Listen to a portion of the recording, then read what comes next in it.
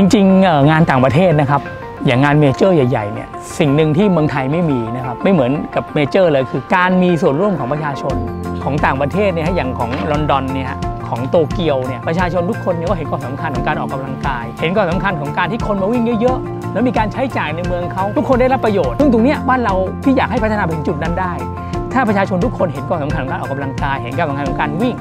ถ้าประชาชนเข้ามาให้ความสำคัญกับตรงนี้มากขึ้นเนี่ยเราจะปิดถนนเราจะทำนะฮะทำอะไรเพื่อการแข่งขันมาราธอนการแข่งขันวิ่งเนี่ยทุกคนให้ความร่วมมือผมว่านักวิ่งเองก็คือได้กำไรนะประชาชนเองก็ได้กำไร ถ้าเมืองเราเนี่ยสมมุติได้เป็นเมเจอร์นะครับรับรองได้โรงแรมในกรุงเทพเต็มหมด ต้องจองเป็นระดับข้ามปีนะครับซึ่งสุดท้ายคือเงินเขาเข้ามาลงบ้านเราบ้านเราก็ก็พัฒนาขึ้นก็สำหรับปีนี้เองเนี่ย ผนที่จะวิ่งต่อไปเนี่ยก็คือจะมีวิ่งที่ซาโลมาร้อยอันนี้ไปวิ่งกับพี่ตูนครับที่ญี่ปุ่นเป็นระยะทาง 100 กิโลเมตร แต่ก่อนนะฮะที่ตัวตัวเองอ้วน แล้วก็ปัจจุบันก็มาออกกำลังกายโดยการวิ่งจนกระทั่งผอมลงนะครับสุขภาพดีขึ้นโรคต่างๆ ก็หายไปหมดเลยนะครับก็รู้สึกดีใจดีใจมาก ไม่คิดว่าตัวเองจะมาถึง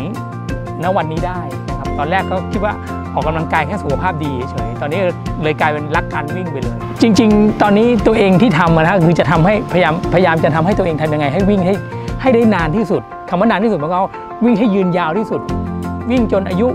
70-80 เลยนะครับและอีกอันสำคัญคือทำยังไงให้ให้เราเป็นตัวอย่างให้คนอื่นมาวิ่งตามเรา ตรงนี้จะเป็นอะไรที่มีความสุขมาก หลังจากนี้อยากจะทำเพื่อเพื่อคนอื่น จะมีความสุขมากถ้าเกิดมีใครมาวิ่งตามเราได้